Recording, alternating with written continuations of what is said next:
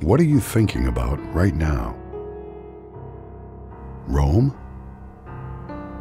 Athens? Jerusalem?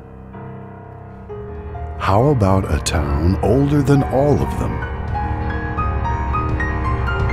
How about this?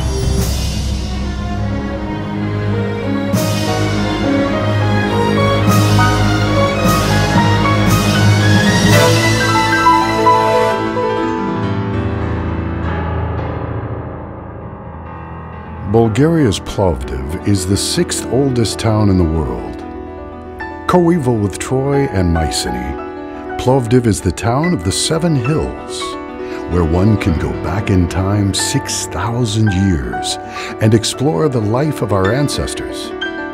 Just imagine the lavish performances that had taken place here in a different era. Ancient cobbled stone streets, national revival houses, bow windows with eaves above them, colored facades, tall chimneys are all characteristics of Old Plovdiv's architectural ensemble.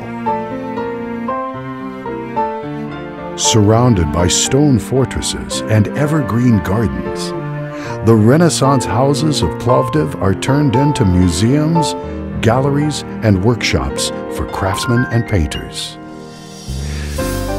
Ah one can take a single breath and delve deep into the incredible vibe of this old town. There is some kind of magic, some fine, fair innocence in the spirit of Plovdiv. It will captivate you in a special way with its vibrant and buzzing scene. Whether you want to wind down over a coffee, grab a cold domestically produced beer, or perhaps check out the work of local designers and artisans.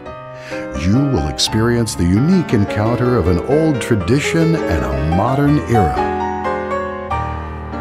Both absorbed in the breathtaking panorama of this town.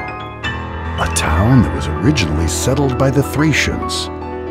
A town that was conquered numerously by the Greeks, the Romans, and the Ottoman Turks a town that has survived hundreds of assaults, fires, massacres, conversions. A town that has always remained loyal to its natives. And now, words have no more power when the sun disappears on its hour. O Plovdiv, ancient, but young forever your seven hills keep us all together. Bring memories from our ancestors, Bulgar, Slavic, and Thracian. Or somebody else. It's all part of your fascination.